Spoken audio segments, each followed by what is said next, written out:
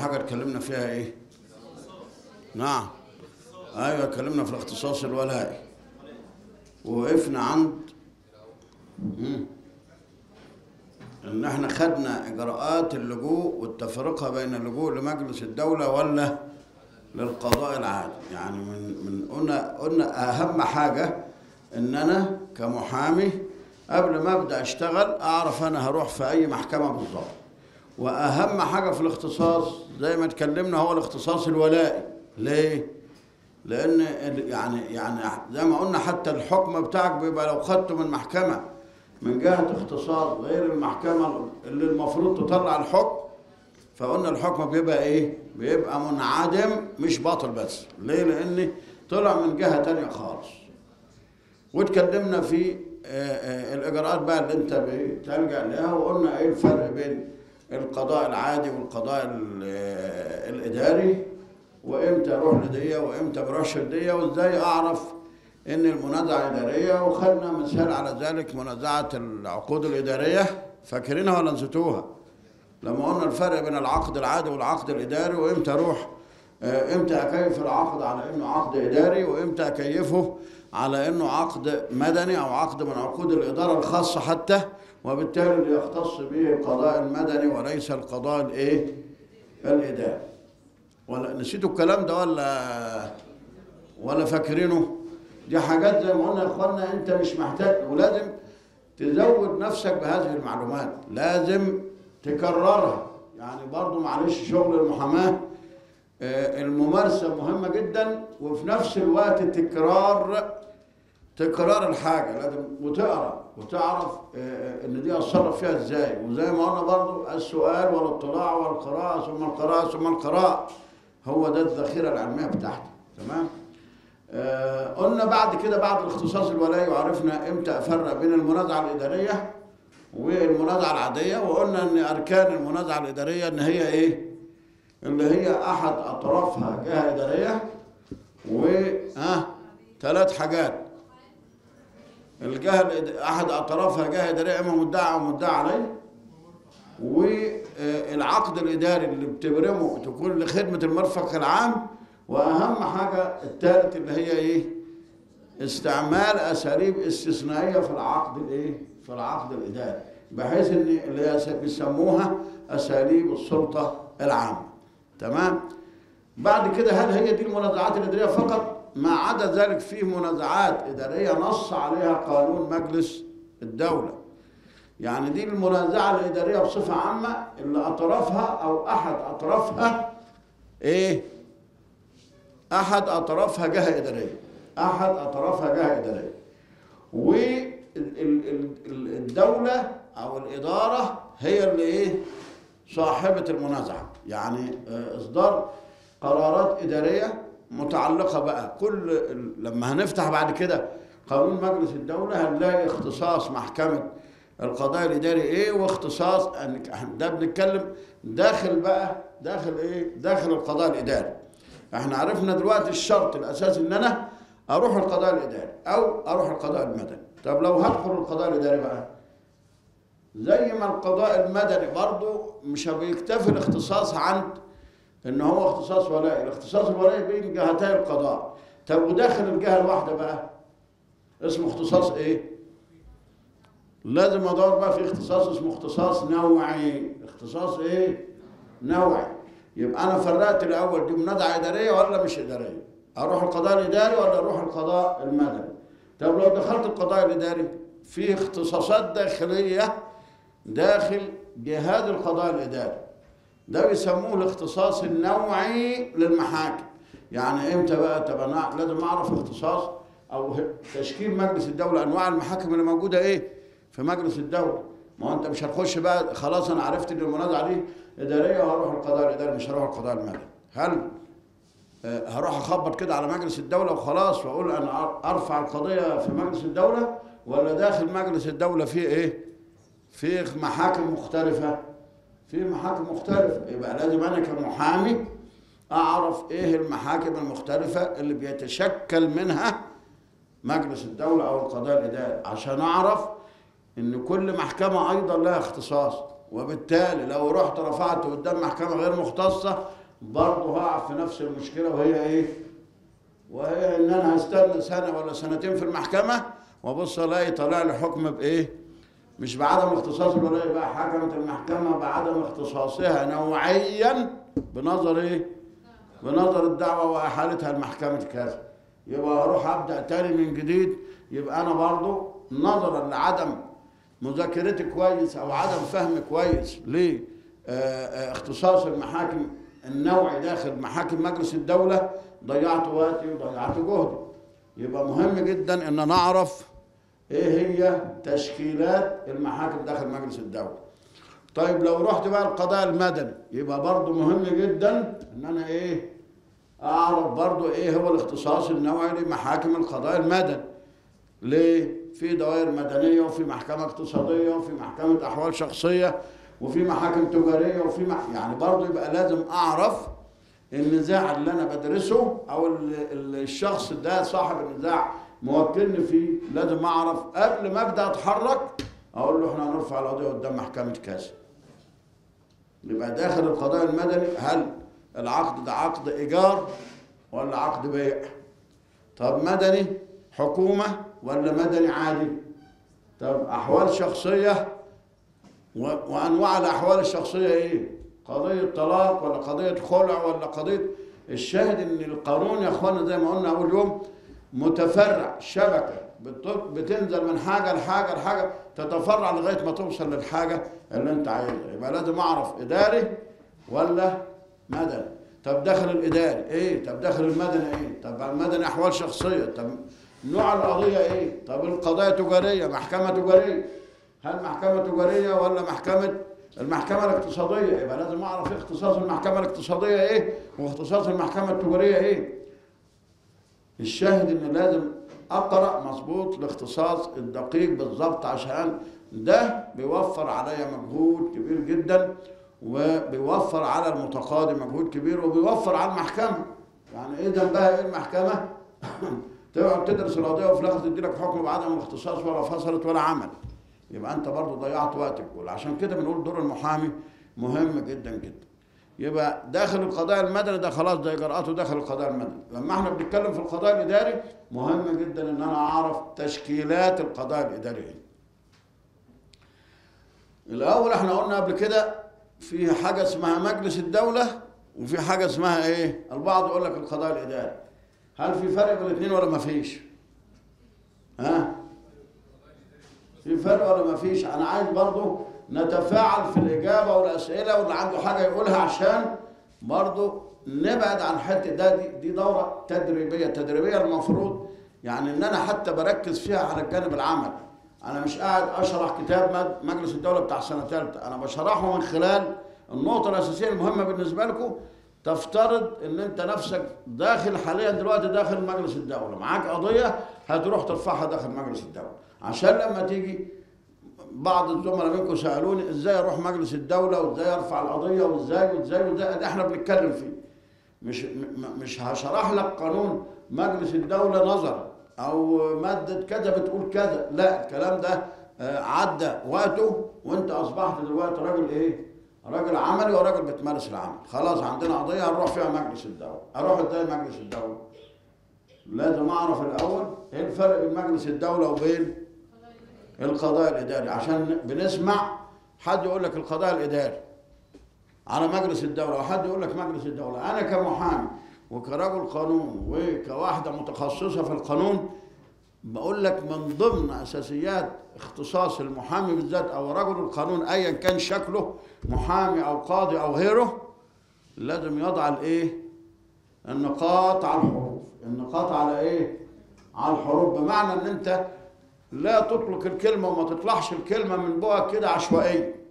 لازم أفرق الكلمة اللي أنا بقولها إيه بالظبط؟ الشخص العادي يتكلم زي ما هو عايز إنما أنت لازم تعرف تضع الكلمة في محلها. فإيه الفرق بقى؟ واحد تسمع ناس كتير يقول لك أنا أرفع قضيه في مجلس الدولة واحد تاني يقول لك أنا أرفعها في محكمة القضاء الاداري أو في القضاء الاداري طب أنا لازم أميز كمحامي. طب حتى بيني وبين نفسي كده هو إيه الفرق بين مجلس الدولة والقضاء الاداري حد يعرف الحتة دي؟ يقول لنا عليها. اتفضل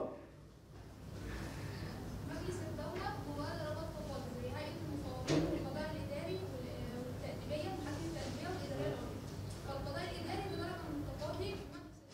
تمام. ده الفرق بين القضاء الاداري وبين مجلس الدولة. امم حد تاني؟ الشباب. إيه الفرق؟ كلنا بنسمع. يقول لك فلان الفلاني المحامي بمحاكم الجنايات والأحوال الشخصية ومجلس الدولة. ومحامي تاني تلاقيه كاتبها هو القضاء الاداري إيه الفرق؟ ها؟ هل هما الاثنين واحد ولا الاثنين مختلفين؟ ما لازم في حاجات كده انت حتى بينك حتى وانت ماشي كده لما لما تقرأ حاجة كده وانت قاعد حتى تقرأ تلاقي كلمة مكتوبة لازم تعرفها إيه؟ زي الفرق بين الج... زي الفرق بين الجنايه والجنحه ما هو الاثنين فعل مؤثر. إيه الفرق بين الجنايه والجنحه إيه الفرق بين السجن أو السجن والحبس؟ مظبوط. يعني الحاجات دي ما هم الاثنين. هم الاثنين عقوبات سالبة للحرية بس دي لها نظام ودي لها نظام. الشاهد إن المحامي ده إيه المفروض؟ إيه الفرق بين الطلاق والتطليق؟ مثلا إيه الفرق بين دي ودي؟ إيه إيه الفرق بين الطلاق والتطليق؟ الطلاق بتاع الزوج التطليق بتاع المحكمة. ها؟ الطلاق اللي بيقوله الزوج التطليق بتاع المحكمة. تمام. لازم هما الاثنين كلمتين ويضيف عليهم الخلع. إيه الفرق بين دي ودي؟ الشاهد إن أنت لازم تثقف نفسك في كل حاجة ما تخليش حاجة تعدي عليك. أنا لما أجي أقول القضاء الإداري ومجلس الدولة. ال- أنا عندي مجلس الدولة ده بيتكون من ثلاث أقسام. لازم أعرف الفرق بين ده وده ثلاث إيه؟ ثلاث أقسام. داخل مجلس الدولة. ومجلس الدولة ده يعتبر من ضمن الحاجات اللي تحمد آه، آه، لمصر. ونوع من تطور القضاء في مصر وتطور النظام القضائي المصري واحد يقول لك إحنا لازم يبقى عندنا جهتي قضاء عادي واداري ومجلس دولة وغيره. طب وكنا ليه ما كنا خليناهم قضاء موحد وخلاص؟ زي ما قلنا إن في نوعين من القضاء قضاء موحد وقضاء إيه؟ مزدوج. إيه اللي خلانا نرجع للقضاء المزدوج؟ ده نوع من تطور النظام القضائي مصر خدت بالنظام ده من فرنسا. فرنسا سنة 1789 قبل ما تقوم الثورة الفرنسية.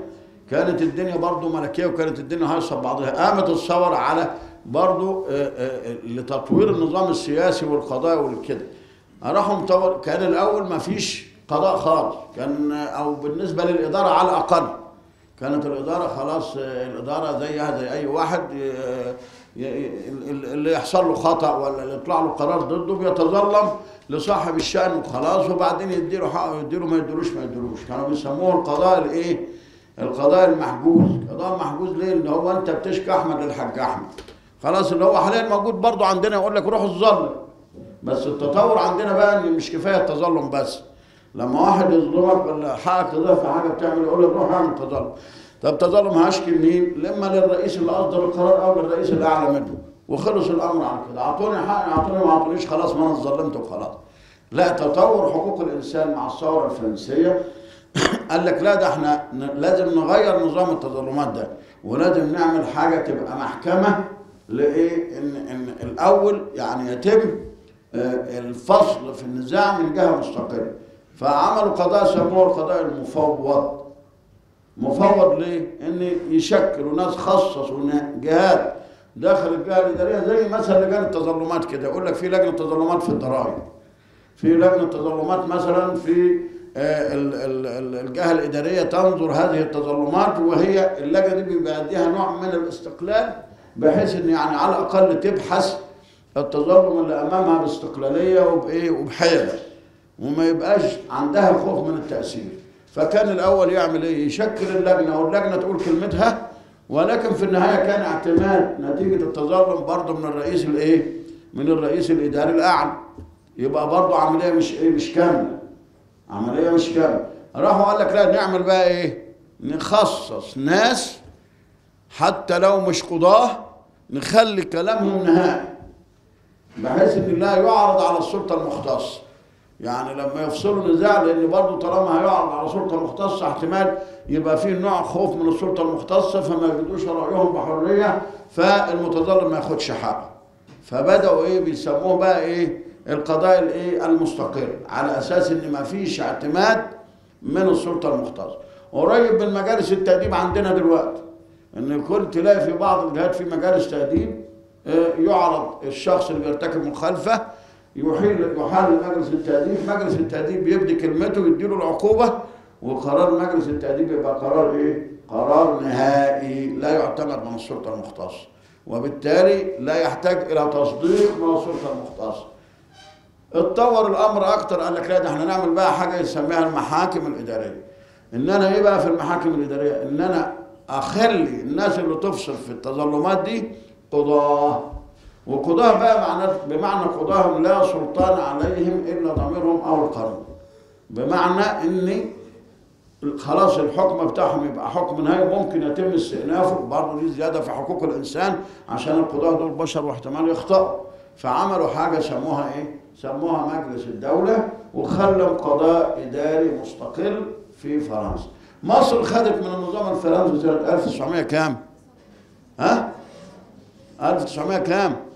مجلس الدولة انشئ سنة كام في مصر؟ سنة كام يا أخوان؟ ستة وكام؟ 46 1946 يعني في عهد الملكية كمان وقال لك إن إحنا نعمل قضاء إداري مستقل وجهاز قضائي مستقل. له نظامه وله منازعاته وله قضاته المستقلين والمتخصصين كمان. يعني وده نوع من زي ما إحنا قلنا كده نوع من الجودة ونوع من تطوير النظام القضائي فراحوا بعتوا جماعة فرنسا كان على رأسهم آه، الفقيه الدستوري الدكتور السنهوري عليه رحمة الله وجابوا النظام الفرنسي بل طوروا عليه كمان لدرجة إن أحيانا في حاجات في مصر مش موجودة كمان في فرنسا. يعني إيه خدوا النظام كده؟ كانت الأول المنازعات كلها بت- بتعرض على القضاء العادي. يعني ما كانش فيه قاضي إداري ولا قضاء إداري ولا كذا خلاص. وفي نزاع إداري بيني وبين الجهة الإدارية بروح أرفع دعوة على الجهة الإدارية وفي المحكمة العادية والمحكمة العادية كمان تبص تلاقي المحكمة كاملة في أيام المحاكم المختلطة. قدام المحكمة تلاقي نزاع إداري على نزاع مدني على نزاع أحوال شخصية على نزاع جنائي نظام قضائي موجود. بدأوا يخصصوا شوية.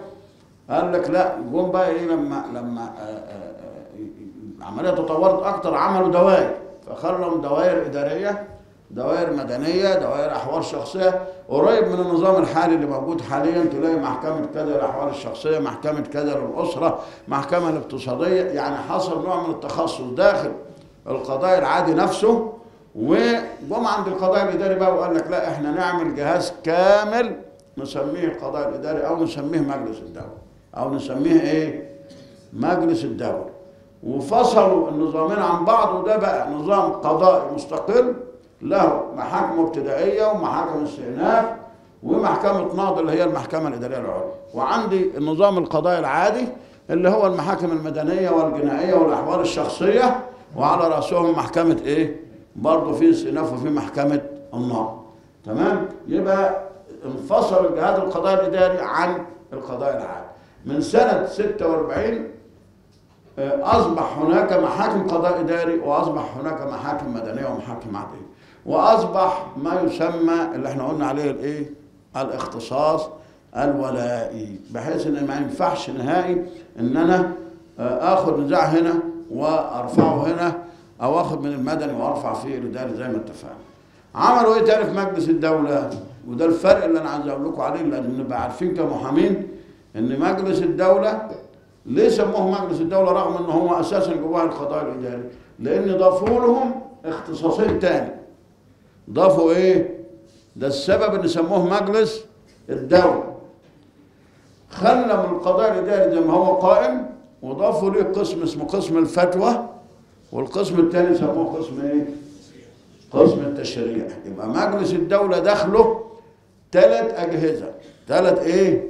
أجهزة جهاز قضائي وجهاز إفتائي وجهاز إيه؟ وجهاز تشريعي عشان كده هو ده اللي يطلق عليه مجلس الدولة هو ده اللي يطلق عليه إيه؟ مجلس الدولة يبقى في قسم الفتوى وفي قسم التشريع وفي قسم الإيه؟ القسم القضائي قسم الفتوى لازم أعرف أنا كمحامي وده كله خدناه المفروض إن إحنا خدناه في سنة ثالثه يا إخوان.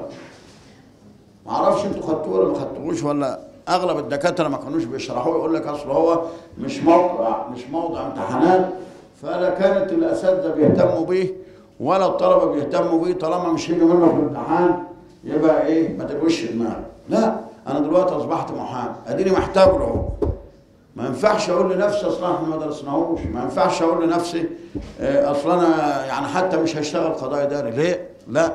ده إحنا زي ما قلنا عدد كبير من المنازعات جدا أصبح في اختصاص الإيه؟ القضاء الإداري. فلازم أنا أعرف النظام إيه بالظبط. ولما واحد يقول لي مجلس دولة لازم أعرف يعني إيه مجلس الدولة. ولما يقول لي قضاء إداري أعرف يعني إيه قضاء إداري. ولما يقول لي أنا طلعت فتوى أنا جبت فتوى من مجلس الدولة ما فيش حد يقول لك جبت فتوى من المحكمة في حد يقول لك جبت فتوى من محكمة القضاء الاداري لما أنت تيجي دلوقتي نقول لك عندك قسم فتوى قسم تشريع قسم قضاء. دول يطلق عليهم الثلاثه إيه؟ ها؟ مجلس الدولة. يبقى مجلس الدولة الأخت اللي قالت ها؟ مش هو جزء من القسم القضائي.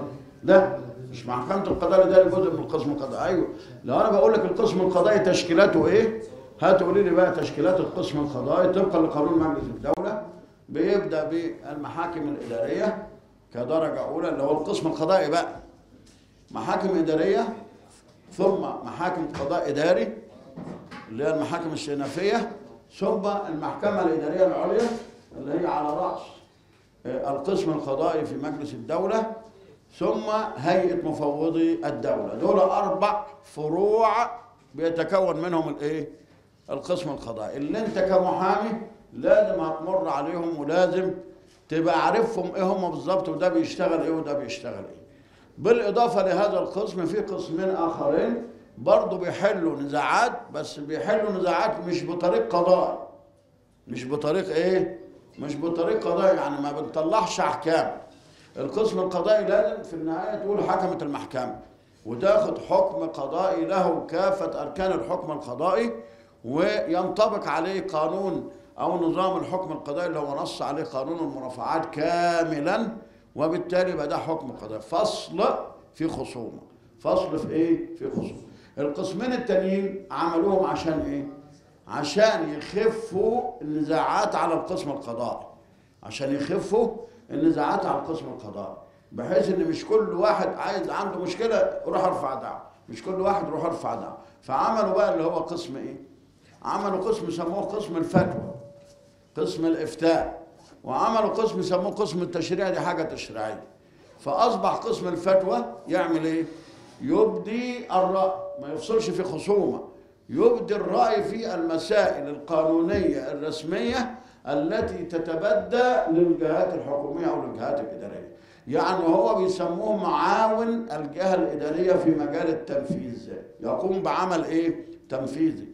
مين اللي بيقوم بهذا العمل؟ أيضا عضو من مجلس الدولة أو مجموعة أعضاء من مجلس الدولة قضاة بمعنى آه، آه، آه، ال- ال- القاضي في السلطة القضائية ولكن أثناء وجوده في الفتوى في إدارة الفتوى لا يمارس عملا قضائيا وإنما يمارس عملا إيه؟ افتائيا. زي أي واحد أنت ك- كمحامي دلوقتي ممكن تشتغل إيه؟ تبدي راي لما يجي واحد ياخد رأيك استشارة فقط مش عندك استشارة ولا ما عندكش. خلاص يقول لك أنا أروح أستشير ده فتوى. أنت طلعت له حاجة؟ اديته رأي قانون رايك إيه في المسألة دي؟ أعمل إيه فيها؟ والله رايي كذا كذا. برضه في الجهات الإدارية في رأي قانوني يبدأ بس اللي بيطلبه هنا مين بقى؟ اللي بتطلبه هنا الإدارة. اللي بتطلبه الإدارة. فعملوا قسم فتوى خلوه مجموعة إدارات فتوى على كل وزارات الدولة. خصصوهم عندنا في مجلس الدولة 12 إدارة فتوى. 12 إدارة فتوى. كل إدارة بتختص بوزارة أو أكثر حسب حجم الوزارات نفسها. وفي الغالب بيجمعوا وزارتين ثلاثة يخلوا لهم أو يخصصوا لهم إدارة فتوى مختصة منين؟ من مجلس الدولة. يا دكتور كل كل وزارة لها إدارة فتوى. نعم. كل وزارة أو مجموعة وزارات حسب حجم العمل. يعني وزارة الدفاع عندك كده تلاقي إدارة الفتوى لوزارة الدفاع؟ فقط. تعمل إيه دي؟ دي بتبدي تختص بإبداء. لا إدارة الفتوى لها ثلاث أو أربع اختصاصات. بتختص أولا بإبداء الرأي القانوني في المسائل القانونية التي تطلبها الوزارة المعنية. يعني وزير الدفاع في أمر معين متعلق بقى بايا كان عقد عايز ينفذه في مشكلة في العقد آه، مع مقاول عايز يخلصها يخلصها إزاي؟ في آه، مشكلة متعلقة بضابط حتى اللي هي الشؤون الوظيفية لضباط القوات المسلحة. في ننفذ الحكم ده إزاي؟ نعمل إيه مع الضابط ده؟ نعمل كذا نعمل اللي هو كأنك مستشار مش كأنك هو يعتبر مستشار الحكومة أو مستشار الرسمي للوزارة. طب معنى ذلك ده هو له بقى قراره آه، له سلطة التنفيذ. اللي هو مين؟ القاضي أو المستشار بتاع إدارة الفتوى الاداره بتاع إدارة الفتوى اللي تبع إدارة الإدارة آه. تعمل إيه؟ لا مش لا هقول لك. هل الفتوى ملزمة ولا ما مش هو ده اللي إحنا؟ بنقوله بقى يا باشا هو أنت لسه بتقول دلوقتي. آه آه. أنت بتقول إن هو يعني لما هيجي هيجي بحكم وهيعرضوا على إدارة الفتوى آه. إدارة الفتوى هتقول قرار بتنفيذ الحكم. أيوه هنقول الراي هو السلطة يبقى هو له حق التنفيذ كده. بالظبط كده. يعني هو بيعمل إيه؟ شوف أنا دلوقتي كمستشار فتوى زي ال- الادارات الثانية نعم؟ مش مش مش إدارة فتوى. آه. لا ده ده إدارة إدارة لها قوة القرار. ال- اللي هي تقصد اللي هي اللي هي إدارة الفتوى اللي هي في وزارة الداخلية نعم. أو في وزارة الحربية أو ايا كان تمام. ماشي؟ آه. في موضوع اتعرض على المحكمة نعم. أو اتعرض على جهة. آه. والجهة دي إدت فيه قرار صحيح. إدت فيه حكم؟ عايزين ننفذه إزاي؟ عايزين ننفذه إزاي؟ أيوه. يعمل إيه بقى؟ يقول لك المسؤول أو الوزير ابعت الموضوع ده لمين؟ لإدارة الفتوى بتاع مجلس الدولة. بيروح كاتب جواب من عنده بيسموه طلب رأي. السيد والاستاذ المستشار. طبعا اداره إدارة الفتوى دي بتبقى مكونة من آه، رئيسها بدرجة أحد نواب رئيس مجلس الدولة بدرجة نائب رئيس مجلس الدولة. تمام؟ وفي الغالب بيبقى من إيه؟ من ال 50 واحد القدام. يعني من أقدم 50 آه. يعني دايما بيجي علينا الدور كرئيس إدارة فتوى بتبقى في في الايه في ال 50 في, في أقدم 50 موجودين. تمام؟ يتبعت لرئيس إدارة الفتوى يقول له والله في مشكلة كذا كذا كذا يرجى افادتنا بالرأي القانوني. مثلا الوزير المختص عنده مشكلة ممكن تحتمل أحد حلين فهو محتار. طب أنا عايز حد يفتيني. بس أنا عايز واحيانا بيبقى له المستشار الخاص بتاعه أو مستشار قانوني. يعني مثلا أنا حاليا مثلا منتدب مستشار قانوني لوزير معين تمام؟ ده مستشار قانوني للوزير أو لمشكلات الوزارة اللي مع الوزير ممكن ياخد رايي بس هل أنا رأيي كمستشار قانوني بالنسبة للوزير يعتبر رأي رسمي؟ رأي جهة رسمية؟ لا مش جهة رسمية. ده هو راجل مستعين بيا وممكن يستعين بمحامي. ممكن يستعين يعني مش شرط إنه ياخد واحد من مجلس الدولة هو حر يجيب اللي عايز يجيبه. إنما المستشار بتاعه رايه إن هو عشان ينبهه أو ينوره للمسائل القانونية اللي, اللي هو شايف إنها محتاجة بحث. لكن لو أنا عايز رأي رسمي من جهة رسمية. هو ده اللي إحنا آه بنعمل إيه؟ نبعت مين المفتي أو جهة الإفتاء الرسمية في مصر للحكومة أو لوزارات الدولة هي قسم الإفتاء في مجلس الدولة. يعني أنت عايز فتوى رسمية عشان أريح دماغي. ولذلك أنا كمستشار قانوني لوزارة معينة فبعمل إيه؟ أحيانا في مسائل معينة ما بديش أنا الرأي فيها عشان ما احرجش إيه؟ عشان ما احرجش الوزير أو ما احرجش السلطة المختصة. أقول له إيه؟ احسن حاجة إحنا نبعت الموضوع ده لمين؟ لإدارة الفتوى في مجلس الدولة. ليه؟ لأن هناك شبهة احتمال يقول لك أيوه ما هي الوزارة يعني إيه يقول لك وبناء على رأي المستشار القانوني ممكن المستشار القانوني يكون إيه؟ يعني عايز يجامل الوزارة اللي هو فيها وعايز يجامل المصلحة اللي هو فيها ويخون ضميره. فبيدي لهم رأي يمشي مع مين؟ يمشي مع الوزارة، لا أنا مش عايز كده، أنا اللي أشير عليه كمستشار قانوني أقول له الموضوع ده قد يثير لبس معين فإحنا نبعته لإدارة الفتوى المختصة. إدارة الفتوى المختصة دي جهة إفتاء رسمية لا غبار عليها لا سلطان عليها إلا القانون كهي كأنها محكمة. بس كل ما في الأمر إنها بتبدي رايا ولا تبدي إيه حكما أو لا تصدر حكما. خلاص يروح بعته لرئيس إدارة الفت- الفتوى في مشكلة كذا كذا يرجى ابداء الرأي القانوني إفادتنا بالرأي القانوني. رئيس إدارة الفتوى بتبقى مكون عنده حوالي 10 15 مستشار أعضاء معاه يروح آه، يحيل الموضوع لأحد السادة المستشارين يدرسه كمقرر ويقول له والله الرأي القانوني في المسألة دي كذا كذا كذا.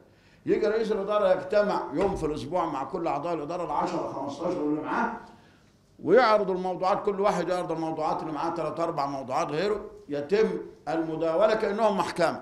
يتم المداولة في إيه؟ في ال ال الآراء المطلوبة أو الفتاوى المطلوبة. كل واحد يقعد يقول أنا عندي موضوع جاي من هيئة كذا تبع وزارة كذا بتعرض فيها مشكلة كذا كذا كذا كذا. طيب عملت إيه فيها سعاده المستشار يقول لك والله أنا بحثت جبت قانون كذا وجبت قانون كذا وجبت قانون كذا وانتهيت. بيقول لك فتوى.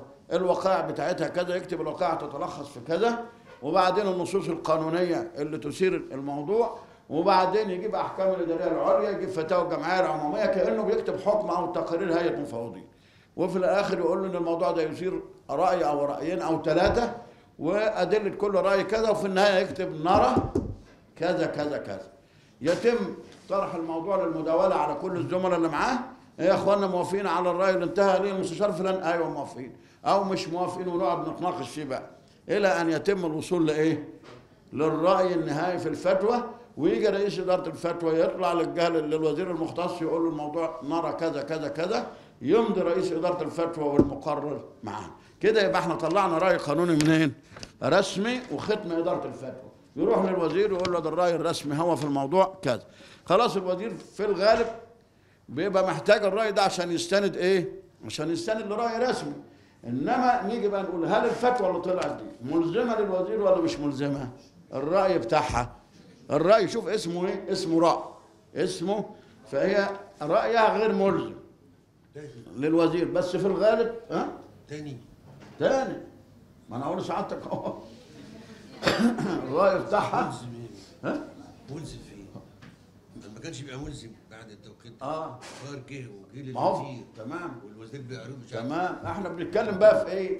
في التكييف القانوني بتاعها. أو زي ما قال لك كده القانون هو عايز يقول لك إيه ده؟ دي فتوى. هو مش عايز يحجر على صاحب الشأن يبقى بلاش منها. ما مش ما هو بلاش منها. آه. آه، لو هي مش هتفيده.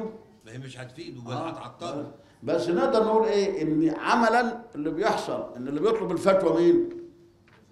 الوزير المختص. فهو في الغالب 90% ولا 99% مش هيطلب فتوى من جهة رسمية إلا وهو عايز سند قانوني يستند إليه.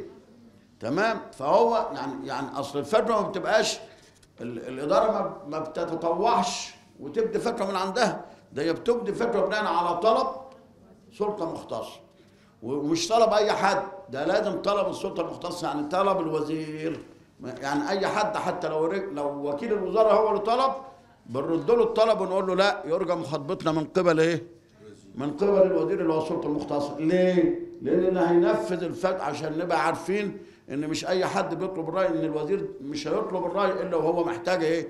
محتاج الرأي فعلا إنما كلمة ملزمة ولا غير ملزمة ده القوة القانونية بتاعة الفتوى ما هو أنت عندك الملزم اللي له قوة ملزمة اللي هو إيه؟ الحكم القضائي إنما عشان أقول إن الفتوى ملزمة يبقى أنا اديتها قوة مش بتاعتها حتى الفتوى الشرعية مش ملزمة خلي بالك.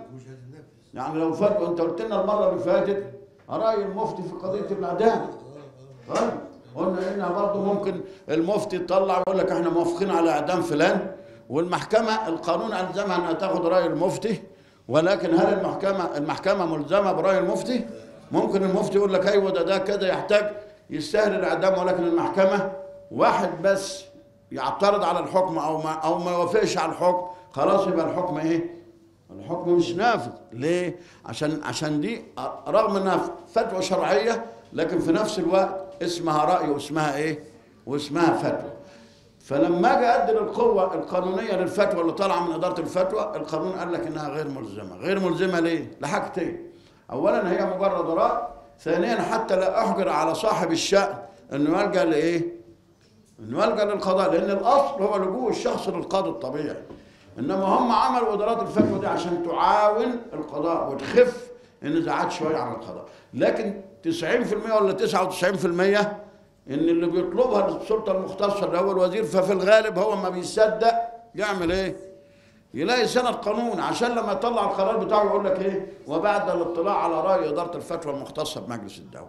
تمام؟ أدي دي إدارة الفتوى. تشتغل إيه تاني إدارة الفتوى؟ قانون المناقصات والمزايدات أو كل المشتريات الحكومية والتعاقدات الحكومية اللي هو القانون حاليا دلوقتي 218 182 سنة 2018 من ضمن اختصاص إدارة الفتوى حضور لجان البت في المناقصات وإيه؟ والمزايدات. يبقى كمراقب قانوني للحكومة الدولة أو الإدارة شغل من ضمن شغلها بتعمل تعاقدات. فعايز يضمن سلامة التعاقدات من الناحية القانونية ومن الناحية المالية. فقانون المناقصات ده اشترط ان يحضر. لجان البت مين؟ اتنين حضورهم وجوبي ولو ما حضرش واحد منهم عمل اللجنة يبطل اللي هي إيه؟ اللي هي إدارة الفتوى المختصة بمجلس الدولة يحضر منها عضو ووزارة المالية اللي هو المراقب المالي لازم يحضر عضو من وزارة المالية. إذا زادت قيمة الأعمال عن 2 مليون جنيه حاليا. تمام؟ الهدف إيه؟ عايز يحافظ على المال العام فلازم يبقى في مراقب مالي. يضمن صحة الاجراءات المالية ولازم يبقى في مراقب قانوني يضمن صحة الاجراءات القانونية بالإضافة إلى أعضاء اللجنة اللي هم في الغالب بيبقى فيهم برضه عضو من الشؤون القانونية من الجهة وبيبقى فيهم آه، عضو مراقب مالي من إدارة الحسابات. يبقى ده شغل برضه إدارة الفتوى اتفضل.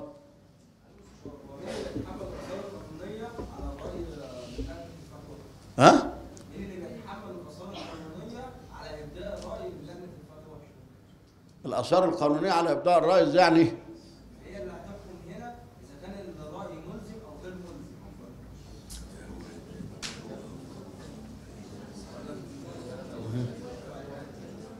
تمام. آه، اتفضل ارتاح. هو بيسأل مين اللي بيتحمل الآثار القانونية على إنها ملزمة ولا مش ملزمة؟ سؤال كويس. وده الفرق. ليه القانون لما قال لك ملزمة ولا مش ملزمة؟ إيه يعني والقانون عايز إيه من دي؟ لما نفس قانون مجلس الدولة يقول لك وراي إدارة الفتوى غير ملزم أو استشاري لأن لو قال ملزم يبقى عدم تنفيذها إيه؟ من قبل السلطة المختصة مخالفة قانونية مخالفة إدارية وتأديبية. يعني لما يجي يقول الرأي ملزم وأنا آجي كسلطة مختصة أعمل عكس هذا الرأي وما نفذوش ولا نفذ رأي تاني. هنا تحمل المسؤولية بقى. ليه؟ لأن ده يعتبر خروج على مقتضى الواجب الوظيفي وتعتبر جريمة تاديبيه يعاقب عليها المختص بعدم تنفيذها. إذا كانت ملزمة لكن لما هي مش ملزمة بقى ده الفرق. معناها إنه بيترك القرار لمين؟ للسلطة المختصة. إن يجوز لها أن تنفذها وفي ذات الوقت يجوز لها أن تنفذها إذا ارتأت إن إن عدم تنفيذها قد يكون في صالح الوزارة. هو القانون الإداري بالذات يا اخوانا دايما بنقول إن المشرع مش عايز يغل يد الإدارة عن الإدارة يد السلطة المختصة عن الإدارة لأن الأصل الأصل في العمل الإداري أو الأصل في ممارسة الاختصاص هي سلطة تقديرية ولا سلطة مقيدة؟ ها؟ يعني أنا مدير مكان دلوقتي سعادة الأمين العام هو أمين عام النقابة هو يعتبر المدير الإداري التنفيذي للنقابة لجميع أمور النقابة وما يتعلق بها صح؟ طيب الأصل بقى إن أنا أقول له لازم تعمل واحد اثنين ثلاثة ولا الأصل هو السلطة التقديرية في إدارة النقابه؟ ها؟ الوزير الأصل في الوزير السلطة التقديرية ولا السلطة المقيدة؟ السلطة التقديرية عشان لازم نعرف دي واحد يقول لك إيه لا ده لازم القانون يكون قال له اعمل كذا وكذا وكذا وكذا لا في الإدارة الأصل في الاشياء الإباحة نطبق المبدأ ده إن الإدارة الأصل فيها السلطة التقديرية والاستثناء هو السلطه المقيده السلطه المقيده يعني إيه؟ إن القانون يقول لي يحظر كذا يجب كذا لا يجوز كذا. هم دول السلطة المقيده اللي أنا ما أعملهمش. ما عدا ذلك يجوز ليا كذا. إنما المدير الثيوقراطي بقى اللي بيقولوا عليه في علم الإدارة اللي هو عامل زي إيه؟ يقول لك أنا آه، قدامي زي خط السكه الحديد كده. يقول لك إيه؟ لا والله أنا القانون قال لي اعمل هعمل. طب هو القانون هيقعد على دماغك بقى؟ يقول لك كله تصرف. يقول لك القانون يقول لك اعمله؟ لا. يبقى كده مش هندير المكان. القانون يقول لي لا تفعل كذا كذا كذا كذا وما عدا ذلك إيه؟ أنت حر فيه. وده حتى مبدأ قرآني ومبدأ أصولي.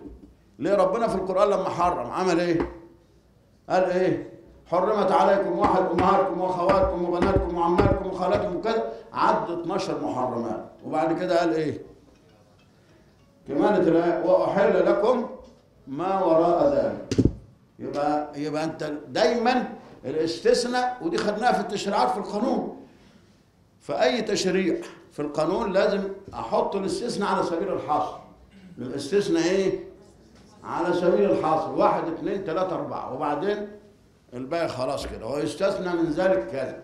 دايما المعدود هو الاستثناء. واللي مش معدود المباح هو الإيه؟ العادي على أساس إن الأصل في الأشياء الإباحة وإن العمل الإداري ما ينفعش أغل يد الإدارة وأقول له بقى لا أنت لازم تنفذ رأي الفتوى دي يبقى أنا كده غليت إيده وتركت لي يعني حجرت على السلطة التقديرية بتاعته عشان كده قال له والله دي رأي القانون وأنت حر فيه. تنفذه تنفذه ما تنفذوش خلاص هو رأي استشاري. الأثر إيه؟ الأثر إن نفذه أهلا وسهلا. ما نفذوش. نفذش راي الفتوى يبقى مخالف هنا أو ارتكب مخالفة تأديبية؟ لا ما أقدرش أقول ارتكب مخالفة تأديبية. ليه؟ لأن القانون نفسه قال الفتوى دي غير ملزمه إنما لو هو حكم قضائي بقى وراح ما نفذوش. دي دي مش دي مش مخالفة تأديبية بس دي جريمة جنائية. الامتناع عن تنفيذ حكم قضائي يشكل جنحة طبقا للمادة 123 من قانون ال- ال- العقوبات. يعاقب عليها بالحبس ست شهور وبال- وبالعزل من الوظيفة. ليه؟ لأن ده حكم. وده الفرق بين الفتوى وبين إيه؟ وبين الحكم. نرجع تاني اتفضل. الفتوى ديت ممكن إن في حد يعني يستخدمها في نزاع أمام القضاء الإداري. تمام؟ فهل بيبقى ليها وزن امام المستشار اللي بينزل النزاع؟ هل إيه؟ بيبقى ليها وزن قدام المستشار اللي بينزل النزاع؟ يبقى لها وزن أمام المحكمة؟ برضه سؤال كويس بقول لك طب الفتوى دي لو أنا استشهدت بها كمحامي وفي محامين كتير وأنت من حقك كمحامي إن تستشهد بجميع ما يؤيد وجهة نظرك يعني أنت رافع دعوة لواحد وبيقول يؤيد وجهة نظر ده في فتوى طالعة من إدارة الفتوى. وفي مثل هذا الموضوع والفتوى إدت أحقية في كده أيوه من حقي أنا أقدمها للمحكمة. لكن هل هي ملزمة للمحكمة؟ لا مش ملزمة للمحكمة. المحكمة عن عن في مبدأ أنتوا كلكم عارفينه وخدناه قبل كده مبدأ اقتناع القاضي. اقتناع القاضي. إيه؟ إن إن المحكمة تكون مقتنعة بالدليل المقدم لها ومقتنعة بنص القانون ومطمئن ضميرها لكده. ولذلك أغلب الأحكام اطلعت عليها المحكمة واطمأن ضميرها. بدليل إن بيبقى في أحيانا تقارير خبراء والمحكمة تشوف بحسها القضائي إن تقرير الخبير ده ملعوب فيه أو مش واقعي. فيقول لك طلعت المحكمة على تقرير الخبير ولم تطمئن له وبالتالي عملت إيه طرحته جانبا. ما خدتش بيه في الحكم واحيانا يجي تقرير الخبير نقول اقتنعت به المحكمة واطمأن ضميرها واتخذته سندا لإيه؟ لحكمها. يبقى كل مستند يقدم للمحكمة فتوى. واحيانا بيبقى في حكم قضاء. ممكن حكم طلع في مثل هذه الحال. لكن المحكمة شافت إن الحالة اللي هي بتبحثها حاليا قد لا تتناسب أو قد لا تكون آه، متوافقة آه، بالضرورة مع مين؟ مع الحكم بدليل المحكمة نفسها بتعدل عن أحكامها في بعض الأحيان. يعني ممكن المحكمة السنة دي بتطلع حكم حقية في ذات الموضوع يطلع السنة اللي بعدها يطلع حكم بالرفض رغم إن إيه ممكن الموضوع ما يختلفش. بس بت... يعني ترجع بقى هنا للايه الاختلاف الواقع اللي نظرتها المحكمة اختلاف المداولة للمحكمة هل جد جديد هل هل هل. المهم إن المحكمة تحكم بإيه؟ بقناعتها. إنما أي رأي قانوني مبدى من جهة الرسمية المفروض المفروض إن المحكمة تأخذ بهذا الرأي ويكون في حسبانها ولو حتى نسبة معينة إنما أحيانا في محاكم بترفض تقرير المفوض نفسه طب اللي عملت ال- ال- اللي عمل تقرير المفوضين مين؟ ما هو زميل ليا في مجلس الدولة برضه وماضي تقرير المفوضين مين؟ بيبقى واحد بدرجة نائب رئيس مجلس دولة وبيقعد وبتبقى دايرة كاملة في المفوضين ويتناقشوا في الإيه؟ في التقارير اللي قدامهم. يعني هي برضه دايرة برئاسة نائب رئيس مجلس دولة ومعاها عضويه مستشارين في مجلس الدولة وبيتداولوا في التقارير وينتهوا مثلا إلى حقيه ويجي الموضوع يعرض على المحكمة والمحكمة تاخد رأي آخر. ليه؟ لأن هنعرف بعد شوية إن تقرير المفوضين اسمه تقرير. هو تقرير بالرأي القانوني. تقرير معناه غير ملزم للمحكمة. معناه إن المحكمة وبنشوف انت هتشوف بعد كده يعني يعني واحد يقول لك أنا أنا أحيانا بقى المحامي برضه معلش يعني عشان كده بقول لكم لازم المحامي يضع النقاط على الحروف.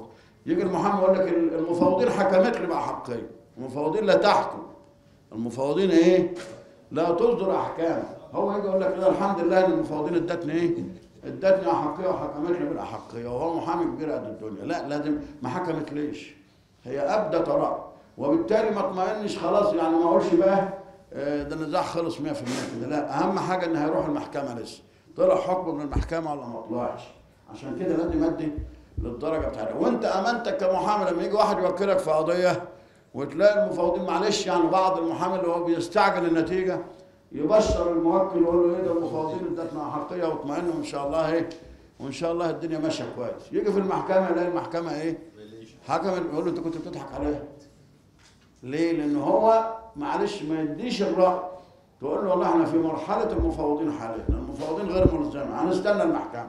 يبقى ربنا إيه ربنا يكرمنا والمحكمة تأيد إيه؟ تأيد تقرير المفوضين وممكن المفوضين تدي رفض والمحكمة تدي احقيه مش معناته إن أنت خدت رفض من المفوضين تتشائم بقى وتقول ده القضية خلصت. بيحصل كتير. المحكمة يعني لها ظروف خاصة أو بمعنى آه، فعلا بيحكمها ضميرها وبيحكمها قناعتها وبتحكمها المداوله يعني في حاجات كتيرة في المحكمة ممكن انت تبقى شايفها خلاص آه، آه، هتدي رفض وتيجي لآخر حاجة يطلع زميل من المحكمة يقول لك لا ده في رأي في العليا قال كذا طب هاته طب نشوفه. تعدل المحكمة عن الرأي اللي كانت ماشية عليه قبل ما تطلع الحكم وتذهب لوجهة أخرى. ليه؟ واحيانا تبقى كده يقول لك والله الراجل ده ابن حلال بعد ما كان هياخد رفض خد إيه؟ خد أحقية بناء على رأي أحد الزملاء أصروا للمحكمة والمحكمة اتفقت عليه. الشاهد إن طالما ما طلعش حكم ما أقدرش إيه؟ ما أقدرش أجزم إن الايه إن, إن أنا كسبت القضية ولا خسرتها عشان كده برضو المحامي يجب إن هو الأمانة بتاعته تفرض عليه إن يخلي صاحب الشأن يديله أو يطلعه أول باول على ما سيكون وإن إحنا وصلنا لمرحلة كذا وكذا وكذا تمام نيجي لاختصاص ال- ال- القسم الفتوى زي ما قلنا حضور لجان البتة دي ده عمل تنفيذي. بتشتغل إيه تاني؟ إدارة الفتوى بتشتغل مراجعة صياغة وأعداد العقود الإدارية اللي تبرمها الوزارة اللي هي فيها. يعني وزارة الدفاع فتوى الدفاع كل العقود اللي تعملها وزارة الدفاع أكثر من 5000 جنيه طبقا لقانون مجلس الدولة لازم تراجع في إدارة الفتوى.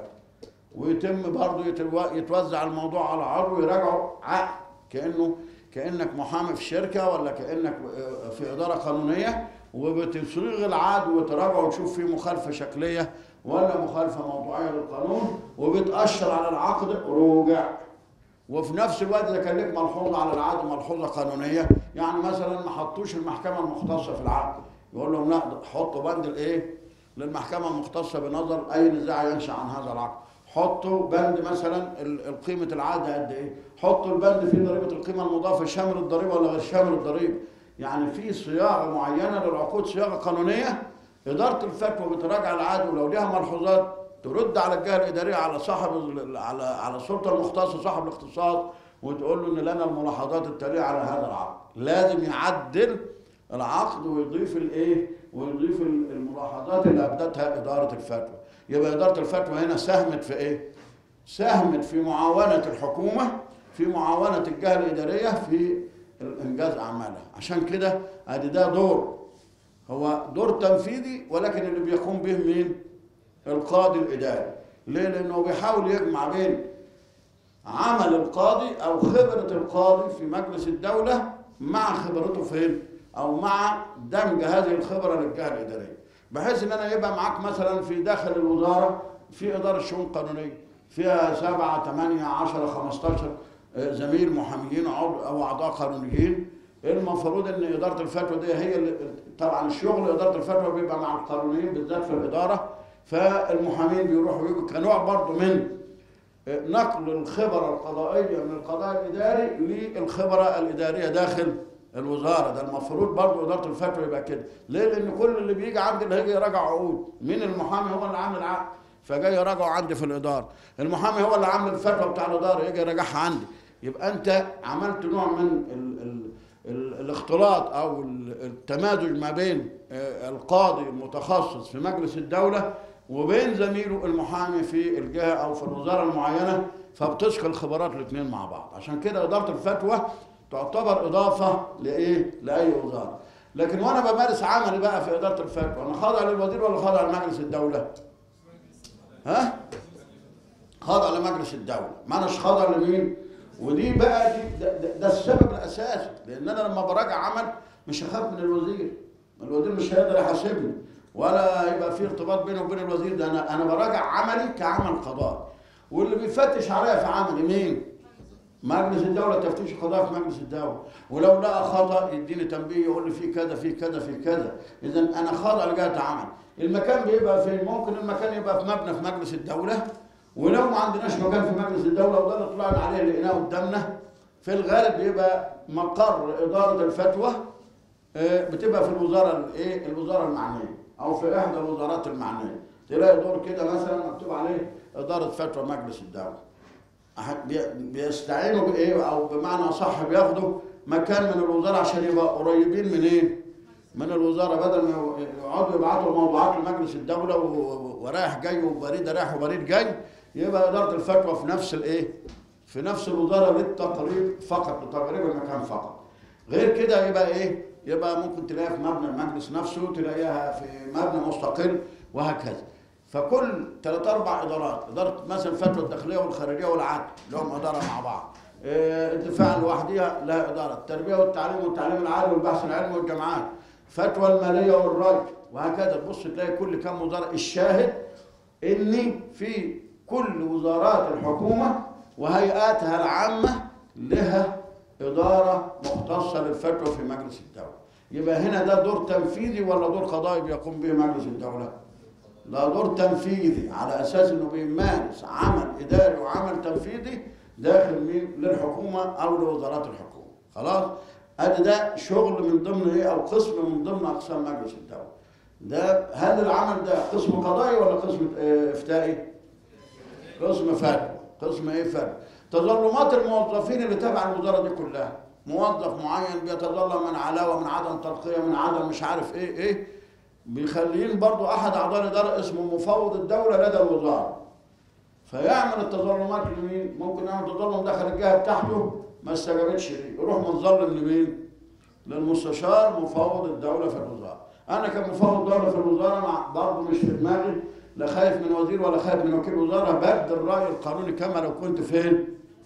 في محكمة وبقول الموضوع كذا كذا يبقى أنا ابديت الرأي معناها كده إن حتى لو الوزير مش عايز ينفذ له الراي بس هيحرج من مين؟ من إدارة الفتوى لأن إدارة الفتوى مطلعة له رأي أنت مش عايز تنفذه ليه؟ يبقى ساعتها الشاهد بدل ما أنت تروح ترفع قضية في مجلس الدولة وتعمل كذا وتعمل كذا في القضاء لا إحنا هنحل لك مشكلتك فين؟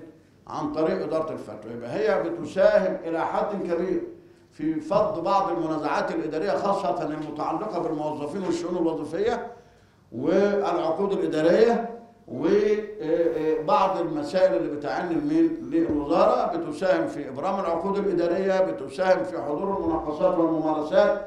أيضا لو في مجالس تاديب داخل الجهاز زي وزارة الداخلية. وزارة الداخلية فيها مجالس تاديب للداخلية للضباط الشرطه فيها مجلس تاديب ابتدائي وفيها مجلس تاديب استئناف اللي بيبقى في عضوية مجلس التاديب مين؟ عضو أو أحد أعضاء إدارة الفتوى المختصه يبقى أنت برضه بتساهم في الإيه؟ في العمل التأديبي داخل الجهة الإدارية اللي أنت تبعها ده قسم الفتوى عشان كده بيقوم بدور كبير. القسم الثاني في مجلس الدولة اللي هو إيه؟ قسم التشريع. قسم إيه؟ التشريع. يعني إيه قسم التشريع؟ يعني داخل مجلس الدولة بنص القانون قال لك لازم أو على الجهات الإدارية قبل إصدار اللوائح ومجلس النواب قبل إصدار القانون لابد استطلاع رأي مين؟ لابد من مراجعته في قسم التشريع بمجلس الدولة عشان يضمن برضه سلامة التشريعات ويضمن عدم الطعون الكتير على التشريعات بعد كده بيحيلها الجهة مختصة طبعا في مجلس الدولة في برضه ال- ال- القاضي بتاع مجلس الدولة ويمكن أنا قلت لكم قبل كده بيبقى مؤهل لأن هو إيه؟ إن هو يطلع فتوى وإن هو يراجع تشريع ويصيغ تشريع ويصيغ عقود إدارية بدليل إن مجلس الدولة بيعمل إيه حاليا أو أعضاء مجلس الدولة وطبقا للقانون لا يكتفي فقط بالليسانس لا يكتفي بالليسانس للترقية هو بيتعين مثلا مندوب مساعد لا يرقى إلى الدرجه التالية إلا بعد حصوله على إيه؟ على دبلومين أحدهما في القانون العام. أحد شوف النص أحدهما في القانون العام، ليه القانون العام؟ ليه؟ لأن أنا بدرس إيه في القانون العام؟ بدرس كل عناصر القانون بدرس القرارات الإدارية بدرس مادة اداري مادة دستوري مادة مالية عامة مادة قانون عقوبات مادة يعني بدرس مكونات الإيه؟ القسم القانون العام وكلمة القانون العام. إحنا لو فاكرينه قلنا إن القانون ده بينظم عمل إيه؟ كل الجهات كل الأنشطة اللي الدولة بتدخل طرف فيها إن كان دستوري ولا إداري ولا مالية ولا ولا. فياخد دبلومين احدهما في القانون العام. ليه؟ لأن برضه أنا بشتغل اما إني مفتي بفتي للقانون العام أو قاضي بنظر نزاعات قانون عام. عشان كده بيشترط في عضو مجلس الدولة إنه ياخد دبلومين أحدهما في القانون العام. دي واحدة. أو ياخد ماجستير في القانون العام. عشان يبدأ يتحط على سلم الترقيات. ويبدأ ياخد دوره بقى في الأقدمية بتاعته بقى. لو ما خدش الدبلومين دول ولا لو خد واحد بس يقعد طبقا للقانون المفروض ست سنوات وبعد كده يحول لموظف إداري. ودي سلطة بيستعملوها في وقت الايه في يعني يعني في وقت الاحتياج إن أنا ممكن لو أنت قعدت ست سنين ما خدتش ماجستير ولا ما خدتش دبلومين أحدهما في القانون العام خلاص تنزع عنك الصفه القضائية وتتحول لموظف إداري باحث قانوني بمعنى صح في المجلس. ليه؟ الدبلومين دول أو الماجستير بيعملوا إيه؟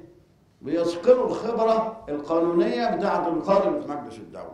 ليه؟ المفروض أنت في الدبلومات برضه بتعمل أبحاث، مطلوب منك بحث ولا مش مطلوب؟ مطلوب مني بحث وبدرس مواد وبدرس دراسات عليا مخي بيكبر. فبيأهلني إن أنا يكون عندي القدرة على إن أنا أكتب فتوى خمس ست عشر صفحات 15 صفحة. تمام؟ كأني بكتب بحث. ويأهلني إن أنا أصيغ تشريع. ويأهلني إن أنا أحضر آه، لجان فتوى ومناقشات. يعني بيدي لك الخبرة القانونية والعلمية والعملية اللي هي تؤهلك إن أنت إيه؟ تبقى مفتي. يبقى عندك الذخيرة العلمية إن أنت تقدر تبدي إيه؟ تبدي فتوى وتبدي رأي ورأي آخر وهكذا. وإن أنت تكتب تقارير في هيئة المفوضين ممكن قضيه مثلا يوصل له 20 30 صفحة. ليه؟ لأن بي- بي- بيدي لك بقى الناحية الفقهية مع الناحية العلمية والناحية العملية. عشان كده شرطوا في عضو مجلس الدولة إن هو إيه؟ ياخد دبلومين أحدهما في القانون العام أو ياخد ماجستير ليه؟ لتوسيع الخبره العلميه بتاعته. فيجي قسم التشريع من هذه الخبرة العلمية بيمسكوا العضو اللي في مجلس الدولة رئيس قسم التشريع برضه بيبقى فيه حوالي 10 15 مستشار من مختلف الدرجات يرأسهم أحد أقدم نواب رئيس مجلس الدولة السبعه في الغالب بيبقى هو رقم أربعة في الأقدمين. يبعت مجلس النواب هيطلعوا قانون يناقشوه داخل مجلس النواب في اللجان المختصة قبل ما يبدأوا يناقشوه تحت القبة لازم يبعتوه لمين؟ لقسم التشريع في مجلس الدولة. رئيس قسم التشريع يحيل على أحد الأعضاء، أحد الأعضاء ياخده يبقى هو المقرر بتاعه يفليه زي ما بيقولوا كده، يفنده مادة مادة ويشوف آه، هذا التشريع متطابق مع القوانين المماثلة أو القوانين ذات العلاقة ولا لا؟ ممكن يبقى في نصين مختلفين مع بعض. فمين اللي يكتشف الحتة دي؟ مهمتي أنا. ك... ك... ك... في قسم التشريع إن أنا أجيب كل القوانين واللوائح ذات العلاقة بهذا التشريع. حتى لا يصدر نص متعارض مع نص. وحتى لا يصدر قانون مخالف لقانون وحتى لا يصدر قانون مخالف للدستور. بدرسه من الناحية التشريعية ومن الناحية الدستورية ومن ناحية كمان الصياغة اللفظية. و- وابدي ملاحظاتي الملاحظه واحد كذا تعديل المادة كذا بكذا استبدال مش عارف إيه بإيه؟ أحط الملاحظات بتاعتي. يعرض أيضا هذا التشريع مش مش رأي العضو لوحده. رئيس قسم التشريع يعرضه في مداولة أسبوعية على جميع أعضاء قسم التشريع. فلان الفلاني معاه التشريع كذا أبدأ في ملاحظات كذا رايكم يتفقوا عليه ممكن يقولوا لا بلاش الملاحظة دي بلاش ي- يعملوا مداولة مع بعض. وفي النهاية يتم إعادة صياغة التشريع بالملاحظات بتاعته ويروحوا باعتينه لرئيس مجلس النواب بجواب من مين؟ من رئيس قسم التشريع يقول له تبدل لنا بعض الملاحظات واحد اثنين ثلاثة أربعة يتعين العمل على تلافي هذه الملاحظات حتى يطلع التشريع إيه؟ يطلع التشريع سليم. يبقى كده قسم مجلس قسم التشريع في مجلس الدولة اشتغل مع مين؟ اشتغل مع السلطة التشريعية ومع السلطة القضائية. اشتغل مع السلطة التشريعية فأصبح مجلس الدولة بيساهم في الإفتاء إن هو بيشتغل مع السلطة التنفيذية بيساهم في التشريع بأنه بيشتغل مع السلطة التشريعية وبيساهم في القضاء بقى أو الاختصاص الأصيل بتاعه اللي هو إيه؟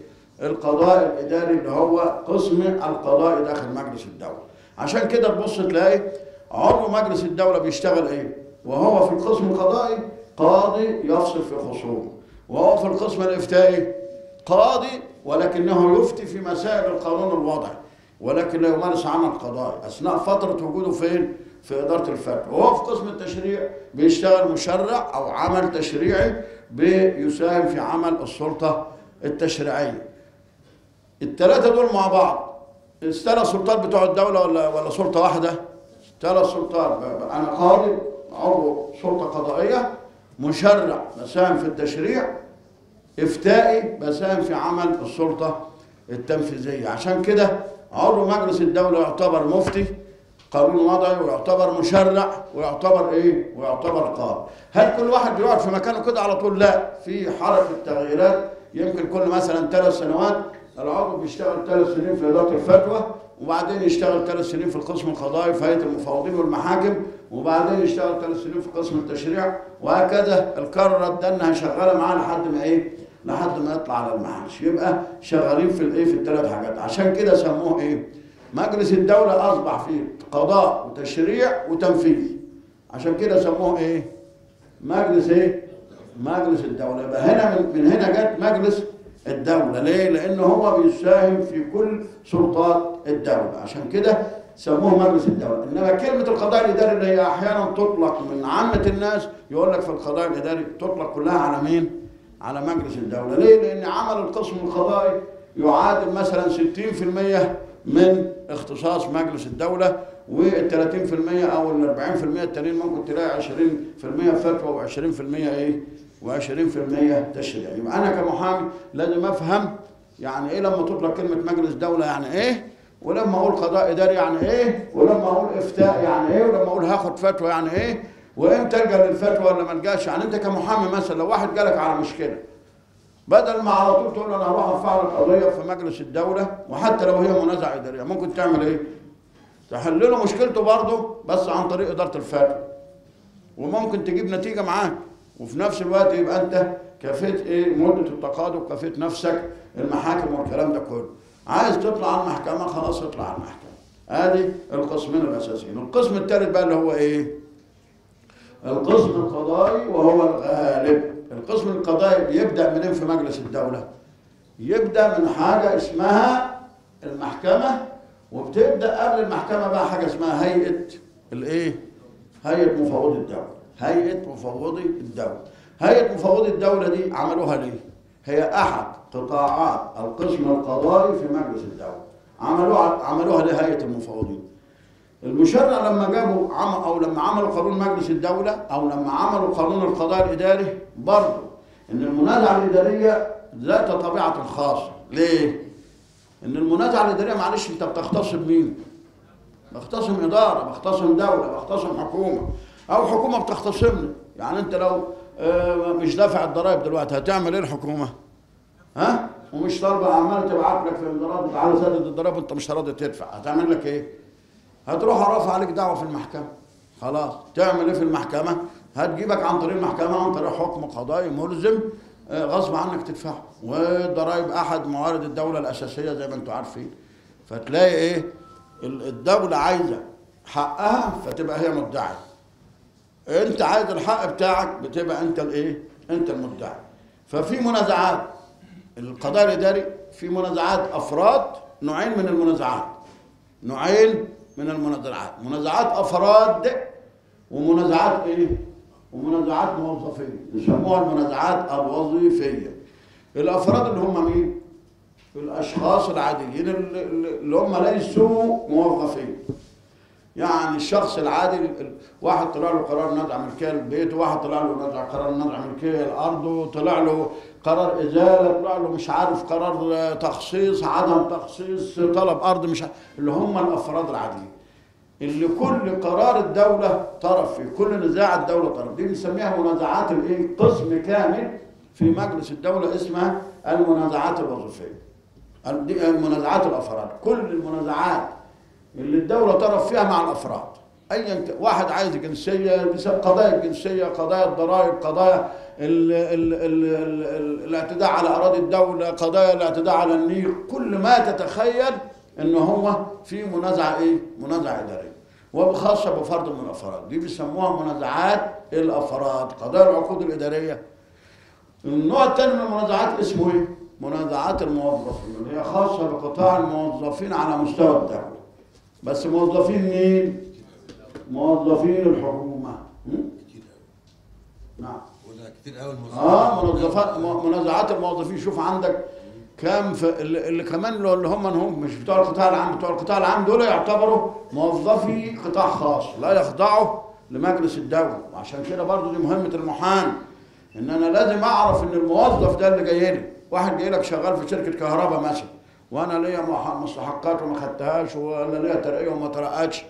لازم اعرف الشخص ده يخضع للمنازعه الإدارية ولا لا يخضع للمنازعه الإدارية. المستقر عليه لازم أقرأ بقى فتاوى واقرا قانون مجلس الدولة يقول لك المنازعات الوظيفية الحكومية الخاصة بالأشخاص الخاضعين للوزارات الحكومية.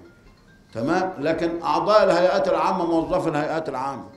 القانون اعتبرهم تبع مين؟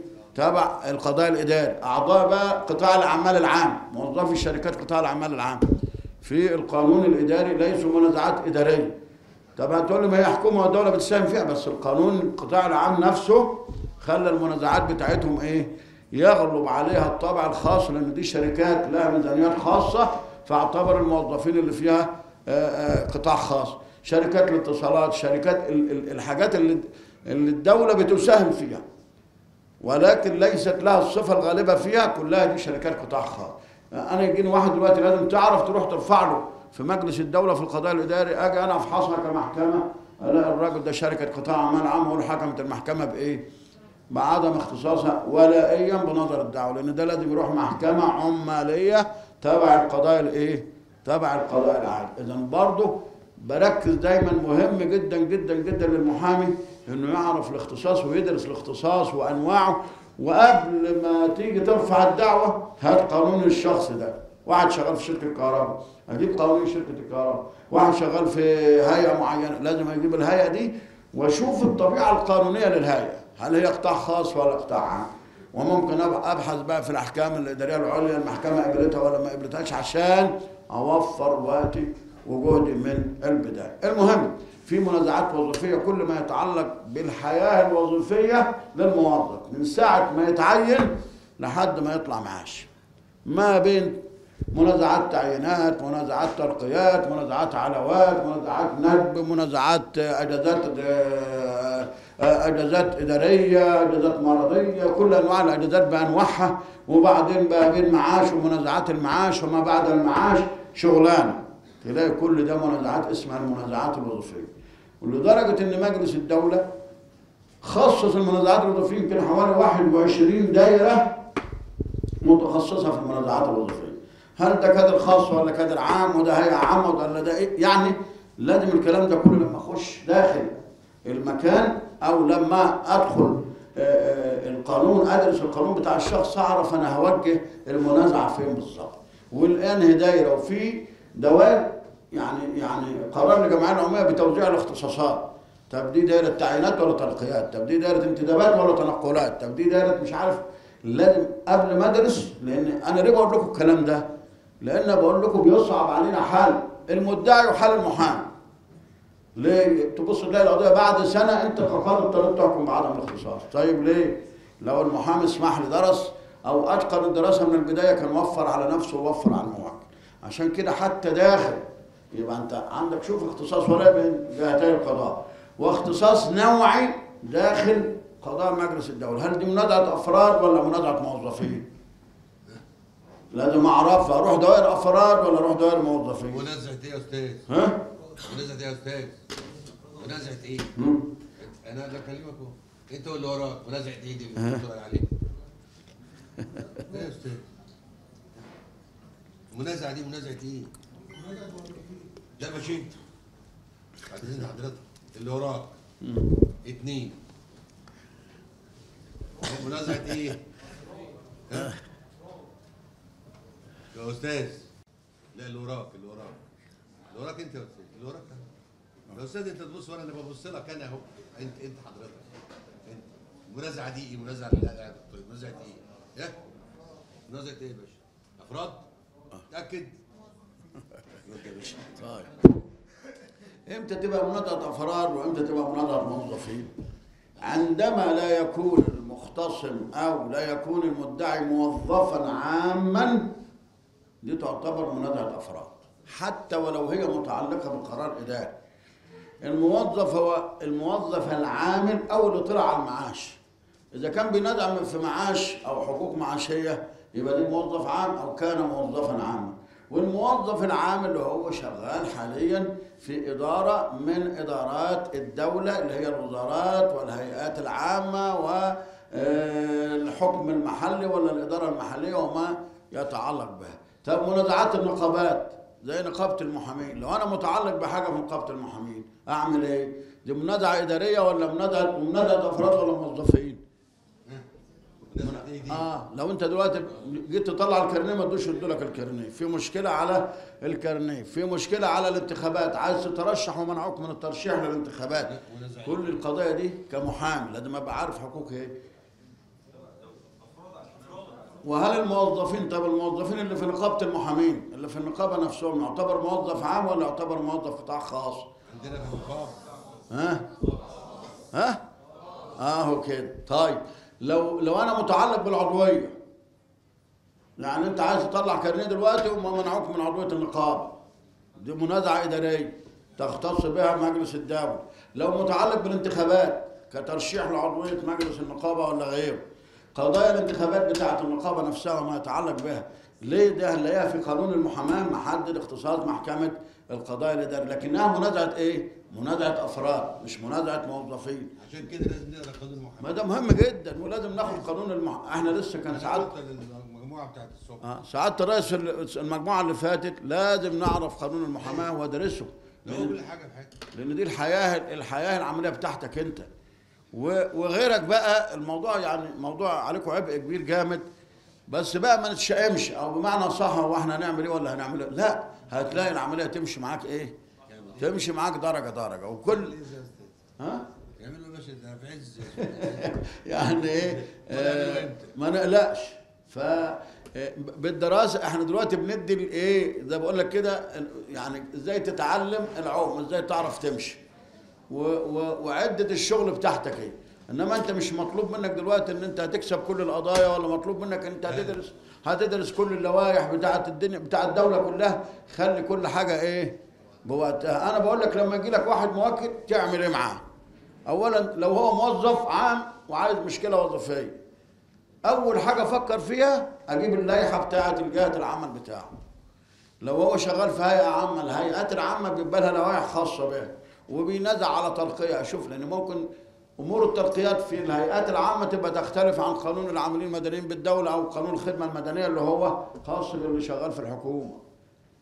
يبقى أعرف المنازعة دي إيه؟ أجيب قانون ال- ال- الجهة بتاعته لأن في حاجة لازم تعرفها برضه إن دايما في القوانين والتشريعات الخاص يخصص العام. الخاص إيه؟ يخصص العام. يعني لما يكون هيئة لها لائحة خاصة بها وفي نزاع خاص بها ما اروحش ابحث في قانون الخدمة المدنية. في قواعد في المهنة معلومة من الدين بالضرورة يعني لازم تبقى ثوابت عندك. لازم تبقى ثوابت عندك الخاص يخصص العام. بمعنى ان في قانون ينظم مثلا الإعارة في هيئة معينة.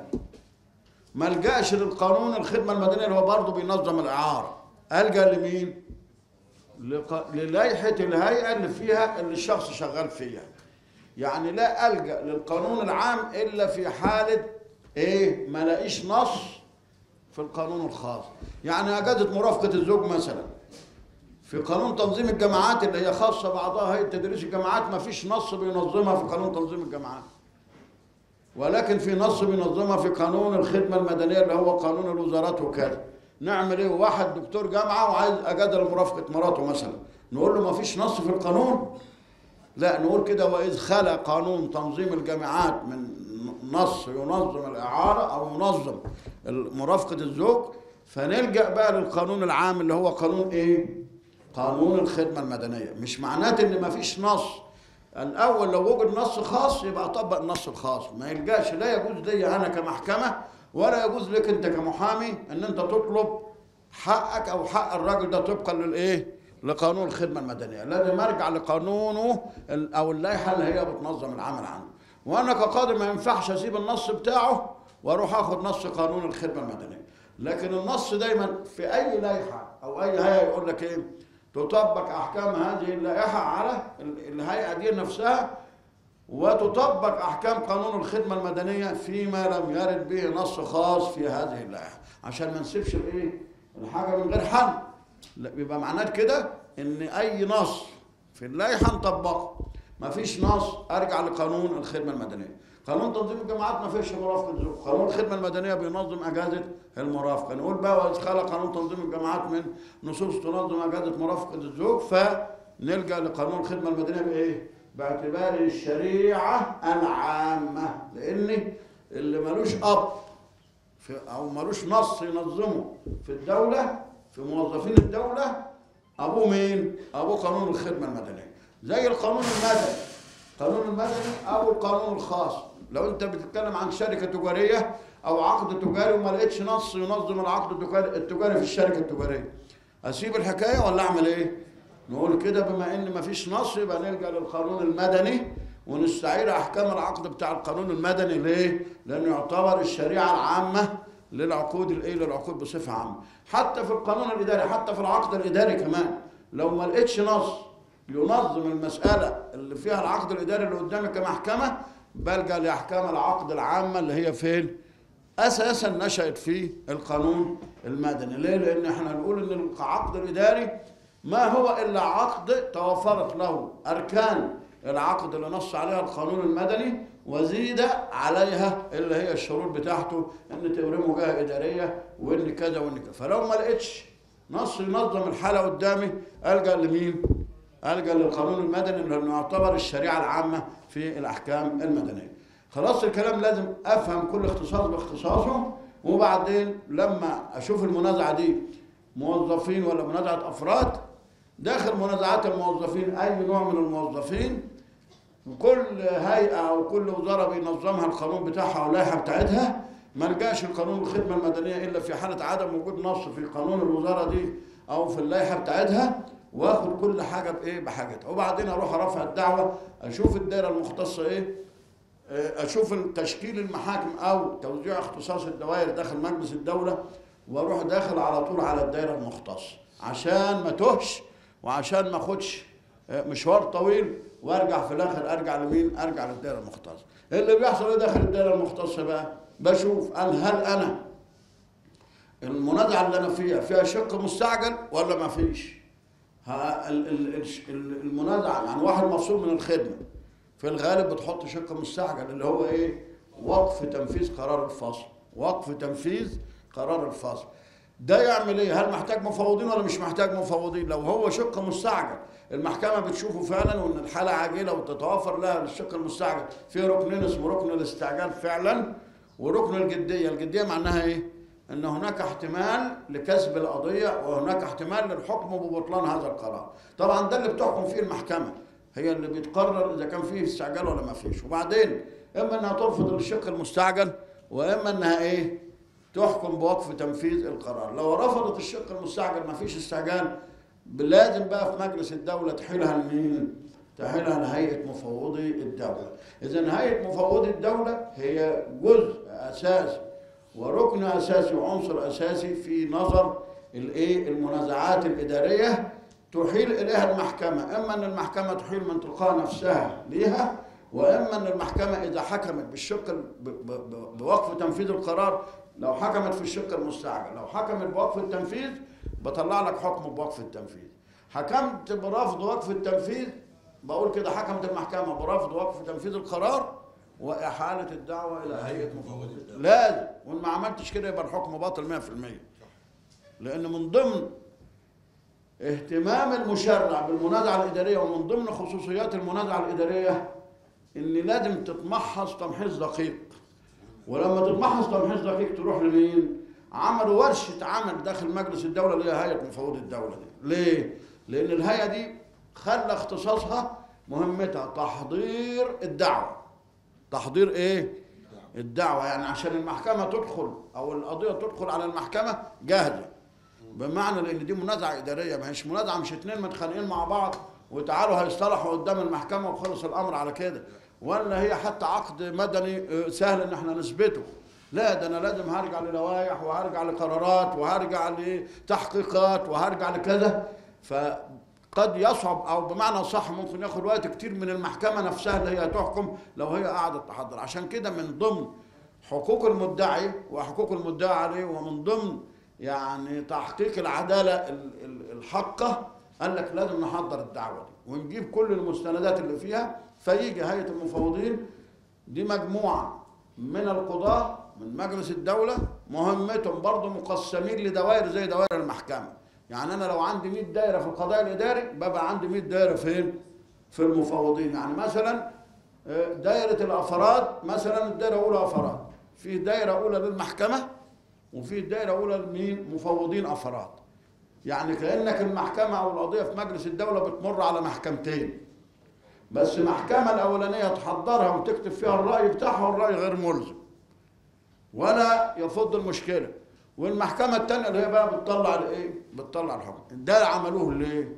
عملوه عشان المنازعة الإدارية منازعة شديدة الشأن وبيترتب. تخيل أنت مثلا ممكن تلغي قرار إداري يترتب عليه مثلا أغلب المنازعة الإدارية الحكم بتاعها خاصة دعوة الإلغاء بيبقى أثرها على مستوى الدولة.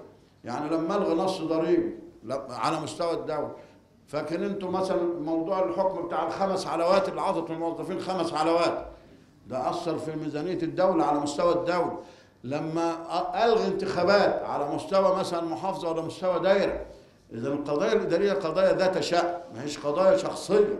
حتى لو فيها جانب شخصي بس في الغالب بيبقى فيها جانب إيه؟ جانب عام. عشان كده لازم تتحضر كويس ولازم يتحكم فيها كويس. فقال لك لازم تتحضر نعمل هيئة من مستشارين مخصوص قبل ما تروح المحكمة اسمهم هيئة المفوضين. فتلاقي هيئة مفوضي الدولة لدائرة الأفراد هيئة مفوضي الدولة للدائرة الأولى موظفين الدائرة الثانية مش عارف إيه لدائرة الترقيات. كل دائرة لها هيئة مفوضين خاصة بها. تمسك الدعوة بينظرها برضو قاضي وخلاص يبعت الدعوة تختار انت رفعت الدعوة رفع دعوة على وزارة معينة لموظف معين بتعمل إيه؟ المحكمة بتبعتها لأطراف الخصومة عشان الجهة ترد وده يرد وأنا عايز القرار الإداري وعايز التظلم من القرار وعايز كذا والجهة الإدارية ترد وتخططوه ليه في الترقية وعملتوا إيه؟ يعني كل ما يتعلق بالفصل في القضية. تاخد لها جلسة اثنين ثلاثة زي ما تاخد إلى أن يتم استكمال جميع المستندات من الطرفين. ويجي الطرفين قدام المحكمة اللي هو المحامي اللي رفع الدعوة ومحامي الجهة الإدارية اللي حاضر عن الجهة الإدارية يطلب حجز الدعوة الايه؟ مش للحكم بقى في المفوضين مش للحكم. في المفوضين حجز الدعوة للتقرير. يحجزها القاضي للتقرير يتم توزيعها على أحد الأعضاء اللي معاه. برضه يكتب الرأي القانوني فيها زي ما بتاع الفتوى كان بيعمل. يكتب الرأي القانوني وكل المسائل اللي تثير هذه الدعوة. يتم المداولة فيها. يعتمد هذا الرأي ويرفع لمين؟ يرفع للمحكمة اللي هي تفصل بقى. اللي هي برضه ذات مش ذات الدائرة لدائرة المحكمة اللي هي بتقول حكمة المحكمة. و... آه تشكيل المحكمة دي بقى بيبقى إيه؟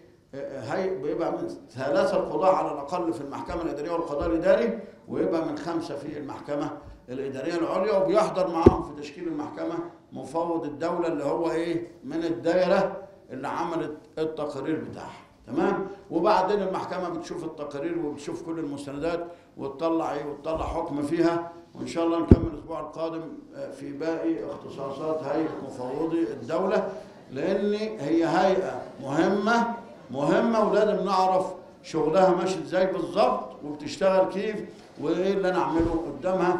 المهم أنت كمحامي ما تسيبش خطوة من ضمن الخطوات دي إلا لما تدرسها نظريا وعمليا.